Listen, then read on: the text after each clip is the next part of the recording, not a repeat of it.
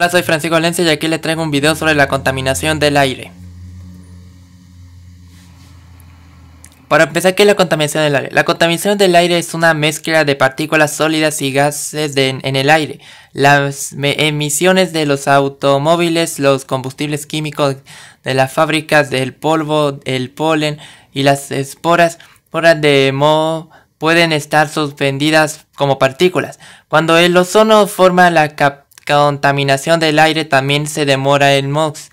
Si contamina mucho el aire puede quedar el cielo todo negro, lo que significa que todo el cielo si queda todo negro, eso puede hacer que no podamos respirar aire limpio y aire puro, sino aire sucio y contaminado, lo cual eso no puede hacer mucho daño. Como pueden ver aquí, estas empresas y por toda la contaminación que han estado los autos, incluido estas contaminaciones, lo que pasa si hacen muchos incendios, entre otras cosas, esto puede generar que el aire que respiremos pueda ser tóxico para nosotros. Puede provocando mucho dolor en los pulmones, que no podamos respirar bien y, y podamos inhalar metales que pueden ser pesados para poder respirar mucho mejor exactamente. ¿Cuál es el posible origen para la contaminación del aire? Puede ser muchas cosas limpias sin mojar el patio porque levanta mucho polvo, quemar cosas en cualquier lugar, quemar el combustible de posible como el carbón, petróleo y gas, quemar algo de combustible, el monóxido de carbono, el oxígeno de nitrógeno, hidrocarburo, óxido de azufre y partícula, la activan humana general contaminación. O sea, que si ustedes hacen muchas cosas que puede ser algo que puede provocar mucha contaminación, eso puede provocar muchos problemas para el aire y eso puede ser culpa nuestra por lo que esté pasando.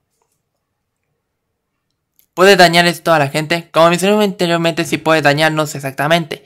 Como por ejemplo, si una persona corre en plena contaminación del aire, esto le puede causar muchos problemas exactamente para poder respirar bien, porque les respira el aire sucio en vez de aire limpio.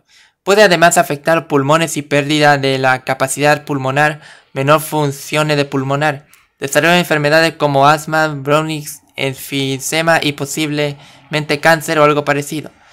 Lo que sí se sabe que si una persona corre respirando esto puede provocarle varios falta para respirar y además eso puede provocar que se pueda desmayar si corre en esa velocidad.